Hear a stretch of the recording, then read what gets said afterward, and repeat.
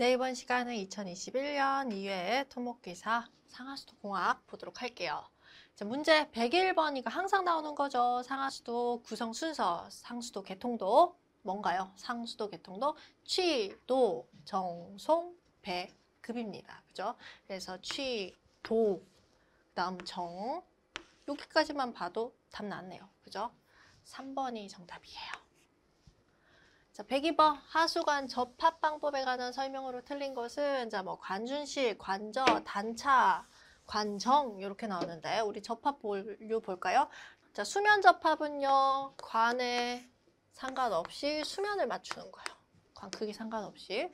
그래서 가장 수리학상으로 좋고 대신에 계산 복잡하고요. 관정 접합은 관의 정수를 맞추는 거죠. 이렇게. 자, 그러니까 어때요? 굴착 깊이가 증가하는 거 보이시죠? 여기를 다 파야 되잖아요. 그죠?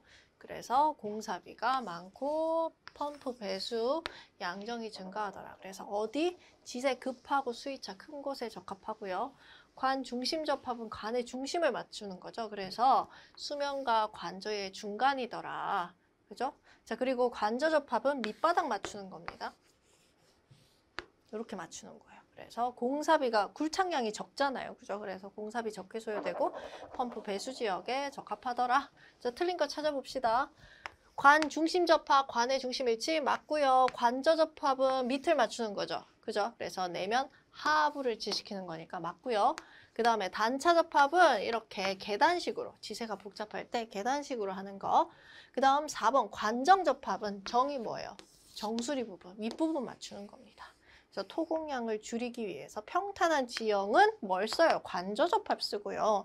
그 다음에 이 관정접합은 가장 굴착 많이 해야 돼요. 그래서 4번이 틀렸네요. 103번. 이것도 항상 나오죠. 계획 오수량 결정 방법에 대한 설명으로 틀린 것은 1번 지하 수량은 1인 1일 최대 오수량 그정의 20% 이하로 한다. 자, 그 다음 2번 생활 호수량의 1인 1일 최대 호수량은 1인 1일 최대 급수량을 감안해서 결정한다. 네, 급수한 만큼 오수가 나올 거 아니에요. 그래서 맞고요. 3번 평균 오수량은 최소가 아니고 최대 오수량의 70에서 80%랍니다. 그죠? 그래서 3번 틀렸네요. 자, 그리고 함유식, 우천식 계획 오수량은 네, 계획 시간 최대 오수량의 3배 이상으로 하더라. 맞죠?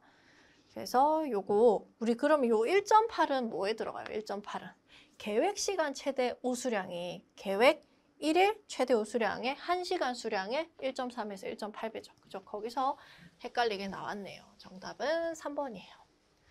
104번 하수 배제 방식 이것도 매번 나오는 거. 우리 분류식, 함유식 구분하는 거. 그죠? 중요하죠?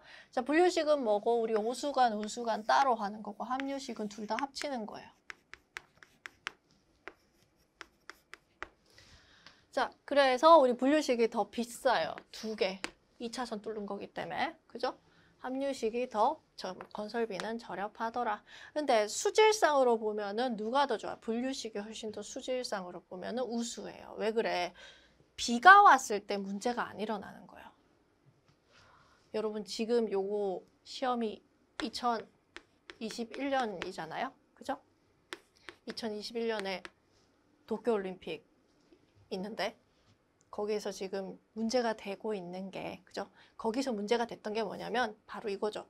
수영을 이제 우리 도쿄 앞바다 앞에 우리나라 인천 같은 그런 오다이바 해안에서 하는데 거기에 지금 어, 엄청 수질이 나빠서 악취가 심하게 나고 거의 앞이 안 보이고 한마디로 똥물이래요. 왜 그렇게 되냐? 이게 도쿄가 엄청 오래된 도시 아니에요.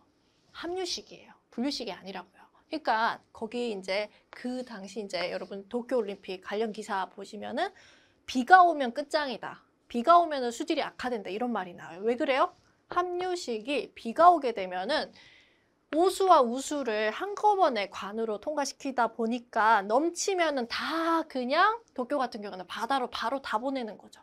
그러니까 똥물이 된 거예요. 그것 때문에 일시적으로 비가 오게 되면은 엄청 심하게 심하게 수질이 악화되는 거죠. 그래서 우리 비가 올 때 문제 되는 거 이건 전부 다 뭐예요? 함유식에 관련된 겁니다. 그죠?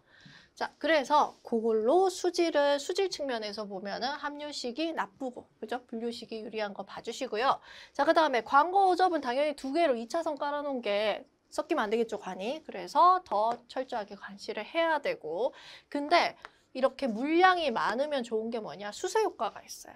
그러니까 물의 양이 많으면 그 물살 때문에 확 쓸고 내려가는 수세 효과가 있는 거는 물살이 큰 관이 큰 함유식입니다. 자, 그리고 토사 유입이 자, 우수에 토사가 많을 거 아니에요. 빗물에 다 쓸려도 오겠죠. 그래서 토사 유입은 여기 더 많고요. 그 다음에 얘는 함유식은 폐쇄 우려는 없죠. 왜? 간이 크기 때문에. 그리고 관이 크니까 검사 쉽고 근데 토사가 많기 때문에 청소가 어렵더라고요. 그죠? 분류식은 반대. 그렇게 여러분 정리를 해주시면 돼요. 자 그러면은 문제 봅시다. 틀린 것은 1번 분류식은 함유식에 비해 우천식 원료의 위험이 크다. 누구라 그랬어요 제가? 네 이제 함유식이 훨씬 더 수질 우천식 원료염이 큽니다. 그죠? 자, 그 다음 그래서 1번이 틀렸고요. 2번 볼게요. 함유식은 단면적 큰 거 맞고요. 검사 수리 등에 그래서 관이 크니까 유리한 거 맞고요. 함유식은 분류식에 비해 건설비가 저렴한 거 맞죠? 시공용이하고. 그러니까 2차선 뚫는 것보다는 큰 거 하나 쏘는 뚫는 게 훨씬 더 저렴해요. 자, 그 다음 4번. 분류식은 강우 초기에, 강우 초기에 뭔가 문제되는 거 분류식입니다. 근데 비가 와서 우천식 문제되는 거는 뭐고? 함유식이고. 그래서 4번도 맞아요.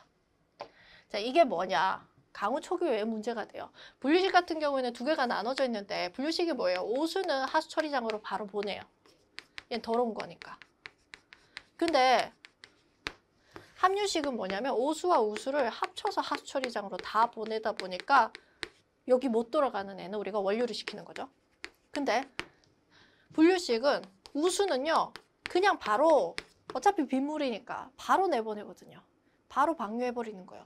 근데 문제가 뭐냐면은 이 우, 우수, 빗물이 이제 뭐 골프장 뭐 아니면은 밭에 농약 뿌려놓은 거 아니면 여러분 도로에다가 도로 타이어라든가 쓰레기 이런 거 다 쓸고 오는 거거든요. 그러다 보니까 강우 초기에는 쓸고 내려오니까 오염이 되겠죠. 그래서 문제가 되는 거예요. 그래서 4번도 맞는 말입니다. 틀린 건 1번.